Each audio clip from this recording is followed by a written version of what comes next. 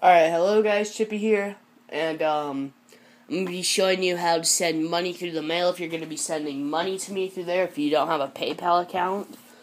Um, so, here's my wallet right here. And move my debit card, I don't trust people. Um, keep a pat rat in there, I don't know why. Um, sorry about the debit card, guys, I just don't trust people. Um, you gotta be careful around. So, here's five bucks. I keep at least like 10 bucks in my wallet in case I want to spend something. So you're going to be sending it in a. Let me find a clear sleeve real fast.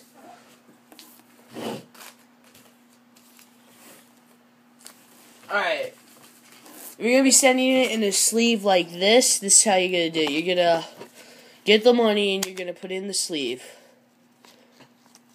Right there. And then you're either going to take a common, uncommon, signature card, rare, ultra rare, holo, whatever you want to give the person, um, and just slip it like that. And now no one can see your money. And then you slip it into the top loader, and it just looks like a normal trade. So, like, the mailman won't see the money or anything if he, like, puts it up in the light, so it'll just look like a normal Pokemon card. Um, yeah. So common, uncommon, whatever you want to do. I prefer a signature card, so I can add it to my signature card collection. But whatever you want to do is fine.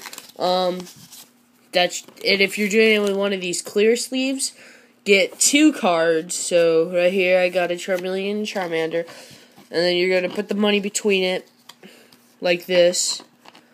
And then you're just gonna slip it into a card sleeve, into a penny sleeve if you don't have any of those nice sleeves.